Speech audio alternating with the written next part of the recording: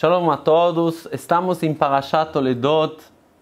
Nossa Parashat fala que Yitzhak e Rivka ganharam dos gêmeos Yaakov e Esav. E aqui vem a discussão. Yitzhak, está escrito Vayehav Yitzhak et Esav kitzait befiv. Yitzhak gostava de Esav. E Rivka gostava de Yaakov. Aparentemente, por que Yitzhak gostava de Esav? É difícil. Yaakov é mais fácil de gostar dele. Ele é uma pessoa justa, uma pessoa que estuda a Torá. Mas Esav, uma pessoa que sai, mata as pessoas, caça as pessoas. O que está acontecendo? Por que Yitzhak está gostando dele? Até o próprio Pasuk fala que por que Yitzhak gostava de Esav? Que Tzaid befiv. Por causa que o próprio Esav ia caçar animais para trazer comida para o pai dele. Será que Esav conseguiu atirar esse amor do pai dele, aproximar o pai dele para ele por causa da comida? Yitzhak não tinha suficiente comida, Rivka não preparava para ele. Ele tinha uma grande riqueza. Está escrito Yitzhak era muito, muito rico. Então, por causa que Esav caçava animais para ele, isso que fazia toda a diferença. E também, no final da Parashá, está falando sobre os brachot, as bênçãos. Yitzhak quer dar as bênçãos para quem? Para Esav, não para Jacob. Por que isso? E também, quando ele está pedindo a Esav de trazer comida para ele, o fim que ele vai dar os brachot para ele, ele está pedindo para ele, vai caçar para trazer para mim comida. E não está falando para ele, vai pegar os carneiros lá, tem um grande rebanho, me prepara lá. Jacob, o que ele fez? Ele trouxe carneiros, não precisava ir caçar. Mas Yitzhak, e fala para Esav, você precisa caçar para mim. Por que precisa caçar? Então, aparentemente, como os sábios explicam, que Yitzhak sabia do que vai acontecer mais para frente, era muito importante para ele que o filho dele, Esav, fica dentro do caminho e não sai do caminho, que não vai ter dois caminhos diferentes se Yitzhak ele sabe caçar, ele pode ficar dentro do povo judeu com essa, essa característica dele. E Yaakov sabe estudar, então não precisa que Esav vai sair do caminho. E Yitzhak, quando com a sabedoria dele, sabia que se Yaakov vai receber tudo, e Esav não vai receber, vai ter consequências muito, muito graves. A gente sabe, os sábios falam no Midrash, que o fato que Esav perdeu os brachot, ele estava chorando duas lágrimas. São as duas, dois bate migdash. Dois betamigdash foram destruídos por causa das duas lágrimas que Esav tirou. Esse sofrimento que ele tinha. Mas a gente pode ver que tinha uma consequência. Consequência sobre os netos. Vamos imaginar. Jacob Avinu tinha 12 filhos. Esses filhos tinha Yosef, que ele gostava muito de Yosef. E os irmãos queriam matar Yosef. No final venderam Yosef mas com o nome de Hashem fizeram um julgamento, tinha certeza que isso é o caminho certo. Isso é uma coisa muito, muito difícil. A gente sabe que por causa disso, o Israel, o povo de Israel, foi para o Egito. E mais tarde ainda tinha consequência, os grandes 10 Arugem Malchut, 10 grandes rabinos que foram executados pelos romanos. Então tinha uma, uma consequência muito grave sobre o nosso povo essa venda de Yosef. Mas como tudo começou? A gente sabe Jacob Avinu gostava de Yosef, era o filho do Rachel, que ele amava, que ele queria casar com ela, mas os outros irmãos falam, mas ele não é o primogênito, o primogênito é Reuven, o filho de Leá. Então, o fato que Leá entrou dentro da família e Leá trouxe os primeiros filhos, que Reuven era o primogênito, tinha briga, quem é o primogênito? Então, agora a gente entende que tudo começou por causa que tem Leá e tem Rachel. Tudo bem. Mas será que o fato que Leá entrou é só por causa que Lavan enganou Yaakov? Ou tem a ver com o fato que Yaakov pegou os brachot para ele? A gente sabe no Pasuk, Vaiba Boker Vinehi Leá. Quando Yaakov vindo acorda depois do casamento, ele está vendo quem está no lado dele, Leá, não é Rachel. O Midrash conta que ele ficou bravo. Falou para Leá, você ficou sócio com seu pai para me enganar? Você não tem vergonha? Leá está ouvindo isso, fala para Yaakov, você fala para quem engana quem? Você enganou seu pai para pegar os brachot de seu irmão? Então, você também enganou. Você está falando que eu te enganei? Agora vamos explicar a resposta de Leá da maneira um pouco mais profunda. O que, que é a Leá? Será que queira somente responder para Jacob? Nossos sábios explicam que é verdade. Se Yitzhak conseguia de dar os brachot para Esav, então Esav ficava dentro do povo judeu. Se ficava dentro do povo judeu, quem casava com ele? Leá. E Yaakov casava com Rachel, como que precisava ser. Mas já que Yaakov pegou os brachot e Esav não recebeu os brachot, ele foi afastado, ficou bravo, ficou afastado do povo judeu. E por causa disso, Leá com quem pode casar? Só com Yaakov. Então Leá fala para Yaakov, eu casei com você por causa de você, por causa que você pegou os brachot. Então a gente entende que a venda de Yosef é por causa de quê?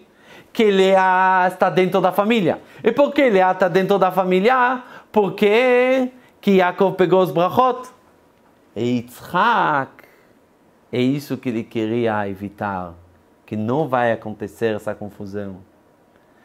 E a gente pode ver que no momento da venda de Yosef, o Pasuk frisa para falar para a gente que verdade tinha uma pessoa que sabia da venda de Yosef. A única pessoa que sabia da venda de Yosef, além dos irmãos, era Yitzhak, Vayef Aviv. Para que precisa saber que precisa falar que Yitzhak sabia? A resposta é que Yitzhak, como se fosse, sabia desde o início que o fato se ele não vai conseguir deixar o Esav dentro do povo judeu. Isso que vai fazer toda a história que no final Leá vai entrar como que a gente explicou. Depois vai ter briga de primogenitor, depois vai ter a venda de Yosef. Por isso está escrito, Yitzhak já sabia desde o início. Isso era a ideia de Yitzhak com os brachot. Sabia que Yaakov não precisa de brachot o fato de estudar Torá, de fazer mitzvot, isso que vai trazer um monte de brachot para ele. Quem precisa os brachot é Esav. Por quê? A gente sabe que alguém, está escrito no Maseret Shabbat, alguém que tem uma tendência de ver sangue, de gostar de ver sangue, ele pode ir no caminho errado, matar as pessoas, assaltar as pessoas mas pode canalizar essa característica dele para fazer coisas boas, para ser um médico, cirurgião, cirurgião para ser chochet. Então ele tem como canalizar para coisas boas. Então é isso que Yitzhak queria. Quando ele estava vendo Esav voltando e trazendo um animal, uma comida que ele que caçou, com a, a, os, as coisas dele características dele conseguia trazer coisas boas. E é isso que Yitzhak queria, que ele vai canalizar as capacidades dele para coisas boas. É isso que ele amou. Vai errar Yitzhak. Yitzhak estava amando essa por quê? Que sai befiv. Porque ele estava trazendo, estava caçando animais para quê? Para fazer a mitzvah de Kibbutz Avaim. É isso que Yitzhak queria. Então, através dos brachot, ele fala, eu vou falar para ele que ele vai receber brachot. O que ele vai fazer? De novo, mais uma mitzvah. Vai caçar para fazer uma mitzvah. Eu vou fazer de tudo que vai ser canalizado as coisas, as capacidades dele para as coisas boas. Não vou afastar ele, não adianta afastar. Alguém precisa ajudar essa pessoa para para voltar. Ouvi uma vez do nome do Rav Eliashiv fala tinha uma mulher que essa mulher chegou para o Rav, na verdade era ela, é o marido dela, chegaram para o Rav e falaram, Rav, temos dez filhos. E um dos filhos, ele saiu do caminho. Saiu do caminho, não faz Torah e mitzvot. E a gente tem medo que os outros vão ser influenciados para fazer coisas erradas. O que a gente precisa fazer? Podemos tirar ele de casa para não influenciar os outros? Falou Rav Eliashiv, se vocês tiram alguém de casa, vocês tiram os, os outros nove, nove filhos que vocês têm. Vocês não tiram esse filho. Esse filho precisa aproximar ele. Precisa saber por que ele está desse caminho para ajudar ele a entrar no caminho. De tirar essa pessoa que está errado é fácil, mas não é o objetivo. É isso que Yitzhak queria. Yitzhak queria que essa vai usar as capacidades dele para as coisas boas. Conta uma vez tinha o Rav Shmuel Anagid, era um grande rabino, que ele é, era muito aproximado pelo rei, o rei gostava dos conselhos dele, que ele era muito inteligente. Uma vez, ele está andando na rua junto com o rei, e de repente sai uma pessoa malvada e começa a fazer músicas e canções com palavras feias contra o rabino Rav Shmuel Nagid. O rei está ouvindo isso, ficou furioso. Ele falou: Rav, pega ele agora, estou te dando agora a permissão de cortar a língua dele. Assim que ele falou contra você, vai cortando a língua dele. Aí o Rav, em vez de cortar a língua dele, foi até ele e deu presente para ele. Falou: Olha, você sabe muito bem cantar. Quem te ensinou como cantar? Aí essa pessoa malvada estava totalmente com surpresa. Ele falou, mas como ele fala comigo assim? Do dia seguinte já mudou totalmente. Cada vez que o Rav estava passando, falava coisas boas, cumprimentava o Rav, só coisas boas falava para o Rav. E um dia, o rei está passando com o rabino, e aí, essa pessoa sai para cumprimentar o Rav, para falar coisas boas.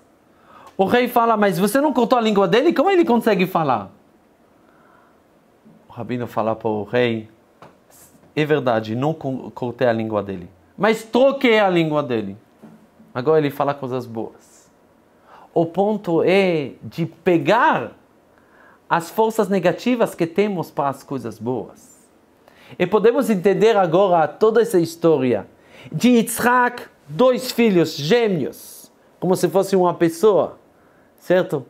Um é Yaakov, parte positiva, um é Esav, parte negativa. E dentro de Yaakov depois sai os irmãos que querem matar Yosef, que tem uma confusão, que eles podem justificar mesmo matar o irmão deles de acordo da Torá. Então, como Como dá para entender isso? Podemos entender a verdade cada pessoa.